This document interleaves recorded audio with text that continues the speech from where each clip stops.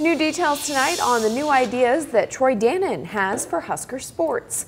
Nebraska's athletic director believes NIL deals can help bring in new athletes. Channel 8's Mackenzie Johnson spoke with an NIL group that's working with Dannen on what the future could look like.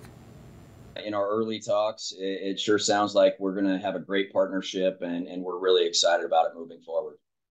It's been nearly three years since name, image, and likeness became legal for college athletes, and collectives like the 1890 Initiative were formed here in Lincoln to help student athletes build relationships and make money in their communities. Several Huskers have benefited from NIL, including volleyball's Lexi Rodriguez and future quarterback Dylan Raiola. And UNL's new athletic director Troy Dannen wants to put even more emphasis on it moving forward.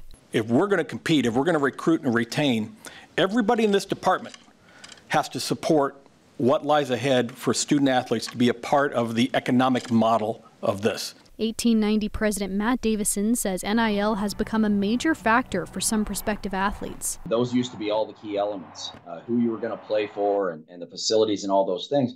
And now NIL is another piece of that as student athletes are looking to where they want to spend the next four or five years of their life. Davison thinks Dannen's experience will bring a unique perspective to Nebraska. I'm anxious to see Troy Dannen's ideas and the things that he brings to the table, um, the, the things that he's seen at the other places that he's been that, that we maybe aren't doing here at Nebraska. And so we're looking to grow.